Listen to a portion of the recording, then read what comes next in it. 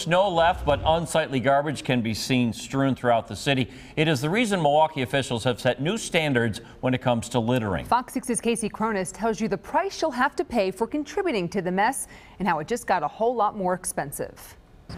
In this cleanup campaign, we have one goal for Milwaukee to be the cleanest city in the country. Snow mounds throughout the city may be gone in time for spring, but what's been uncovered is no welcome sight either. Really, we need to get people to start curbing their behavior. Monday, city leaders rolled out a new cleanup campaign. I'm really tired of littering. But Alderman Russell Stamper, who is spearheading the effort, says there is another key piece to this puzzle. The other part of the team is the entire community.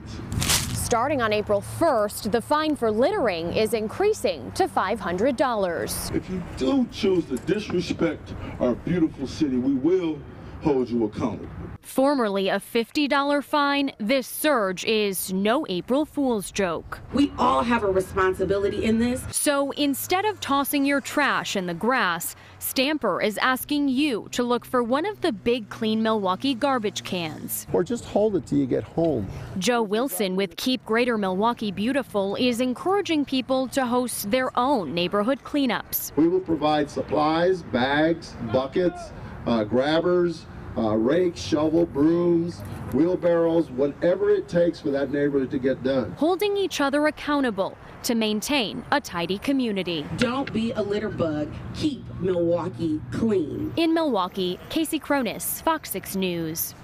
If you're